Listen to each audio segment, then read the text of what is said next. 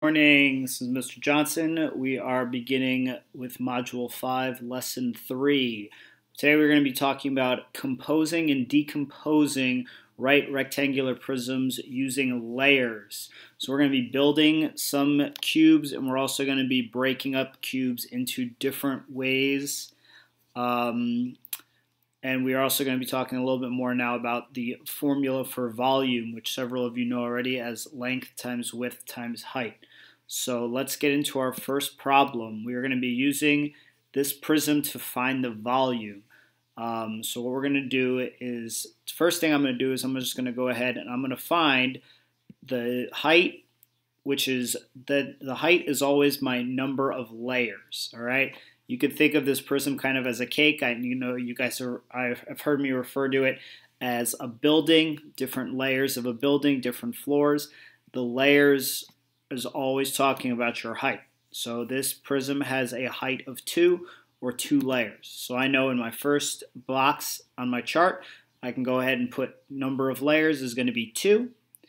And now I have to figure out how many cubes are in each layer. So I'm going to focus on the bottom layer and figure out how many cubes are in it. So I know if I already have my height, the only thing that I need to find is my length and my width. So I'm going to go ahead and find my length. Looks like I have one, two, three, four, five, six cubes there. And then my width is going to be along the side, one, two, two cubes. So to find the number of cubes in each layer, like I said, I need to find the area, and I know my area is going to be my length times width. So I'm going to do 6 times 2, which we all know is 12. So now if I have 12 cubes in each layer, and there are two layers, I'm going to do 2 times 12 to find the volume now if I already have the area. I'm just going to take that area of 12 and multiply it by my number of layers, which is 2, or my layers, which is my height, is 2.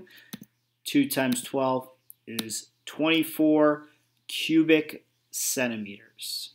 We're working with centimeters, so we'll keep going with that.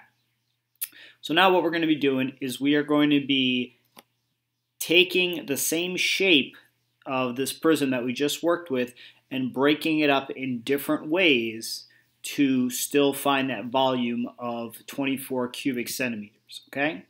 So we can do it in different ways. Um, we can focus on kind of looking, it kind of reminds me of like a loaf of bread, or we can just cut, we can cut the, um, the shape into different ways and, and figure out how many cubes we'll have in each layer that will result in us having 24 cubic centimeters to end. So this first one, and again, you can follow along with me, or if you would like to do this on your own, you can absolutely do that.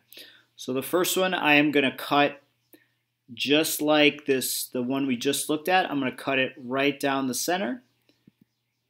So I'm still going to have two layers, but this time I'm not going to go ahead and draw all those separate lines to have all those individual cubes. Instead, it's still going to have the same number of cubes on each layer. I'm going to have 12, 12 cubes on the top and the top layer, and I'm going to have 12 cubes on the bottom. So I'm still going to have those two layers. I'm still going to have a height of 2. And I am but I and I am also going to have 12 cubes in each layer. So it is very similar to my top model.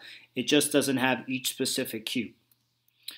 Now for this second model, what I can do is I'm going to think of it more as like a loaf of bread. Okay? Instead of having four, four specific cubes in each layer, I'm still going to make the layers, but I'm just not going to have the cubes. So I'm still going to have four cubes in each layer, but I'm not I'm just not going to draw those specific cubes. All right?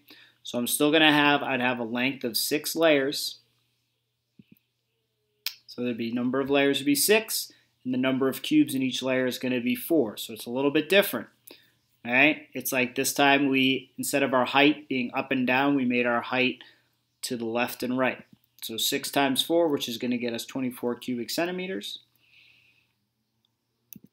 Then the last way we can do it, we are going to cut the shape directly in half.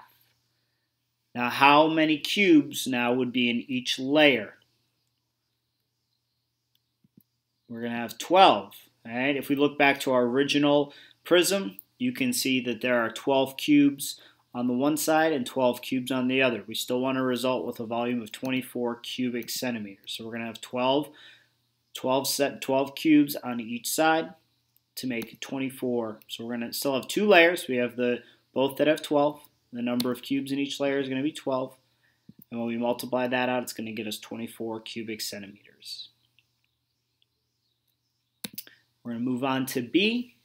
And again, the first thing we're going to do is I'm going to find the number of layers. I'm going to find my volume. Find I know that my length is going to be 4 cubes. My width is going to be 2 cubes.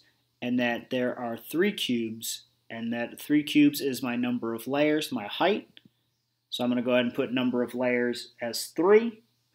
Now I need to figure out how many cubes are in each layer. So like I said, the number of cubes in each layer is going to be my area. And I know area is length times width. So I'm going to take my length of 4, my width of 2. 4 times 2 is 8. So I know I have 8 cubes in each layer. So I'm going to do take my number of cubes in each layer, my area, and multiply by my height of 3. 8 times 3. Just like our last prism is going to have the same volume of 24 cubic centimeters.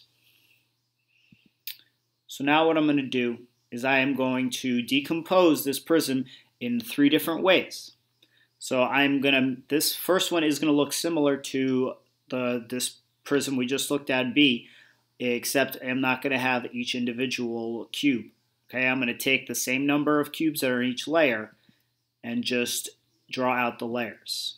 So there's the top layer and the middle and bottom layers. Now I gotta remember how many cubes are in each layer. I'm going to go back to the number, I'm going to go back to my chart. It says number of cubes in each layer is 8. So I'm going to label each as 8. So that would be fine. Now I'm going to do another one. This time, instead of figuring out how many cubes are in each, each layer of my height, I'm going to change it and look at it sideways like a loaf of bread and figure out how many cubes are in each layer going back. It looks like I have six and there are four layers. So I'm going to go ahead and split it up so there are four layers. I'm going to go ahead and put six, six, six, six. So now I know I have four layers, and in each layer there is six. We're going to multiply that. 4 times 6 is going to get us 24. And now just like our last one, now we're going to cut it straight down the middle and figure out how many cubes were on my left side of my figure and how many cubes were on my right. And it looks like we can take our 4 going across and it went 3 up. 4 times 3 is 12. So we're going to have 12 on each side. So we're going to have two layers with 12 in each layer, which would get us 24. Okay? Now I know this will be a little bit tricky to draw and go formative, but just do the best you can. Um, this will probably be one of the big first times where you guys will really have to use the drawing tool. Uh, just try your best, take your time. You can erase, there is an eraser over there. All right. Um, I'm actually going to jump to number three. You guys can handle number two. You just got to write out an explanation for Josh and Jonah and then finding the volume. For number three, it says Marcos makes a prism that is one inch by five inches by five inches. So I'm going to go ahead and label my volume. I'm going to say that the length is going to be 5 inches, the width is going to be 5 inches, and the height is going to be 1 inch. So I'm going to go ahead and find the volume of that. I know volume is length times width times height. So I'm going to go ahead and plug in my numbers, 5 for my length, 5 for my width, and 1 for my height. I know 5 times 5 is 25, and 25 times 1 is 25. So it's going to be 25 inches cubed. Now, as I keep reading, it says he then decides to create layers equal to his first one. So if I know this is the bottom layer, each layer on top of that is going to be the same shape. So it's asking me to fill in the chart below and explain how I know the volume of each new prism. So I'm going to explain to you how to find the volume, and then you're going to have to think up an explanation to say how what what math or how you what strategy you took to find the volume of each prism. So it's saying that the first first um, figure he made had two layers. So in our in this prism we have right here, it has one layer, we want to figure out what's going to be the new volume if it has two layers. So that means it would be two inches high. And then the next one would be four inches high. And the next one would be seven inches high. So you have to use, use your understanding of volume so far to figure out what would be the volume of each of these figures as this figure gets taller and taller. Think of it as a building. If there, we built the basement floor and it's getting taller and taller as they add a floor, so you have to think about how the volume will increase as you add that height, as you add those inches in height. All right, um, I will be getting on Zoom today to answer any questions and kind of go over this PowerPoint a little bit more. So just keep keep uh, keep checking Go or Google Classroom for those updates about Zoom. And if you have any specific questions, please feel free to email me. Okay. Talk to everybody soon. Have a good day.